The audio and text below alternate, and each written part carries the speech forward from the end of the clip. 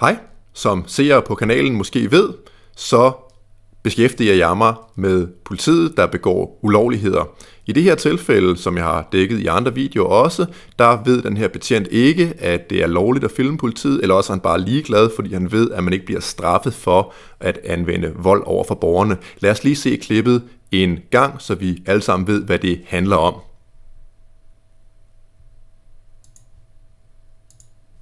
Nu filmer jeg dig. Det kan du godt lade være.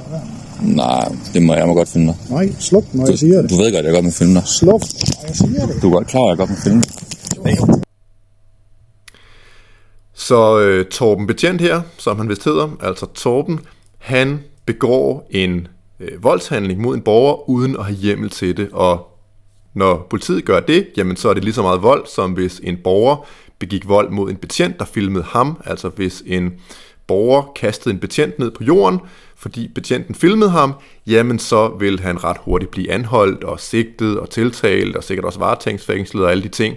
Men jeg har så prøvet at ringe til øh, Mette Hermansen, som er juridisk chef for den uafhængige politiklagemyndighed, for at få at vide, hvorfor at anmeldelsen for vold for den her øh, sag, den er blevet afvist. Hvorfor de ikke behandler den som vold.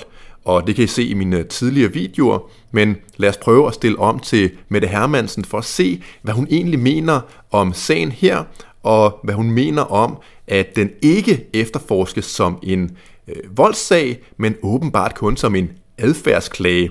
Altså hvis øh, en borger begik vold mod en betjent på samme måde her, så blev det ikke behandlet som sådan en adfærdsklage. Nej, nej, så var vi inde i straffeloven. Men øh, Q med det Hermansen, måske kan hun gøre os klogere. Det er Mette Hermansen. Det er Lars Andersen. Kan du høre mig nu? Ja, hej. Hej. Ja, det kan jeg. Nå, det er fint. Øhm, jeg ved ikke, hvad der var galt før. Øhm, Nej, det ved jeg ikke. nej, øh, jeg havde nogle spørgsmål til den her sag, hvor at der er en borger, der har fået afvist sin voldsanmeldelse. Ja. Ja. Og ved du hvad, jeg har, jeg har haft lejlighed til lige at slutte den op, siden vi alle sammen sidst, så jeg kan se, at øh, den er ikke endelig afgjort, fordi der var en adfærdsklagesag. Vil altså ikke udtale mig om en verserende straf, eller en verserende sag. Altså, er den, Og, baserende, øh, er den baserende, fordi du siger, at det stadigvæk er en adfærdsklage, eller hvad? Ja, ja. Okay. Men kan du så ikke uh, tale Så, om, øh, hvorfor den ikke bliver efterforsket som vold?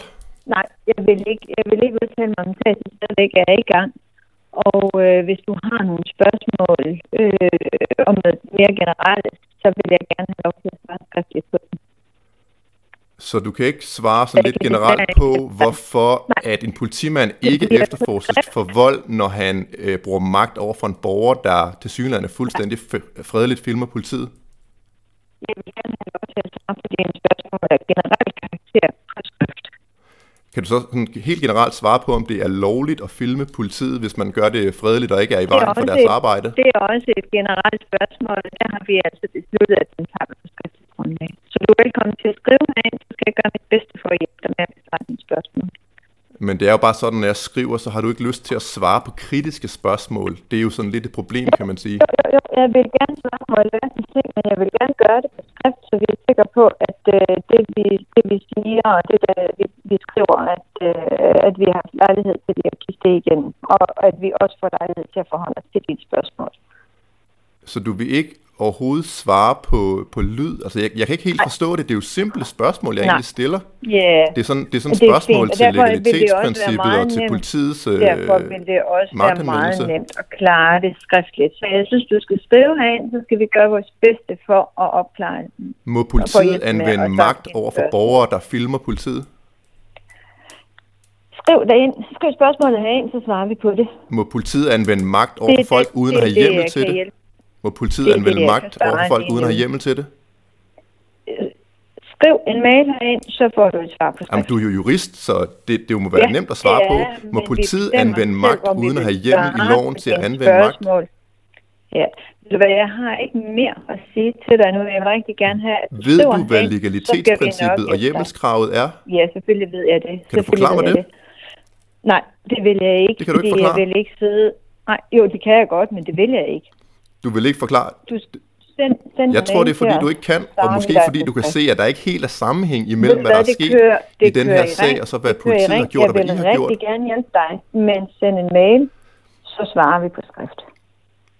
Det er langt mere interessant at høre din udlægning her, fordi det er jo simple spørgsmål. Jeg prøver ikke at lokke dig i en fælde. Nej, det er jeg helt med på. Men øh, send, send en mail, så svarer vi dig. Må politiet godt anvende magt over for borgere, der filmer? Jeg tror, du har hørt, hvad jeg har Det er et jeg simpelt spørgsmål. Sagt. Det er et simpelt spørgsmål. Ja. Kan du ikke svare på det? Yes, og det var et meget, meget simpelt svar. Ja, det var et undvigende og dårligt svar, men kan du ikke svare på, om politiet det- må anvende det magt over for borgere, der filmer Det- dem? Det er din holdning.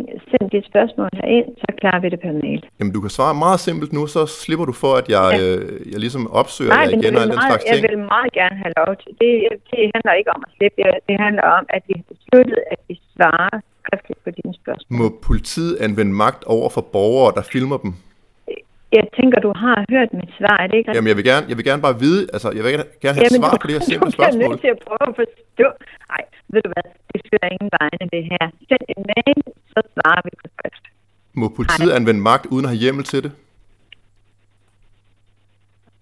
Kan du svare med det? Hallo? Jeg tror simpelthen, at Mette Hermansen, hun, øh, hun stod af. Hun havde ikke lyst til at svare på det allermest simple spørgsmål i forhold til politiets magtanvendelse, nemlig om politiet må anvende magt uden at have hjemmel i loven. Og her er svaret jo naturligvis, nej, det må de ikke.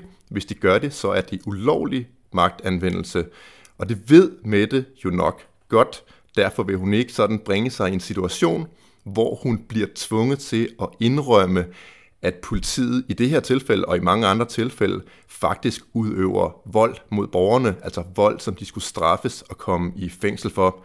Det er sørgeligt, at øh, den uafhængige har politiklagemyndighed ikke kan svare på så simple spørgsmål, og det viser jo, at de godt ved, at den er helt gal. Det var øh, dagens video med forsøget på et øh, kritisk interview med Mette Hermansen fra DUP, det blev ikke til så meget andet, end at hun viser, at hun er en kujon. Så øh, tak for at se med, og hvis I vil støtte den her slags indhold, så kan I gå ned i beskrivelsen til den her video og se, hvordan I kan støtte mig på Subscribestar.